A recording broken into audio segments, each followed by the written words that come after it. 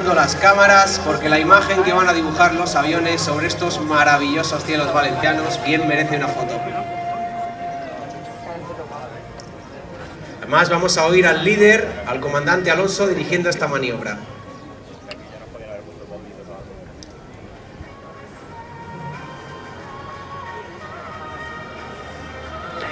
A la rotura final, a la rotura.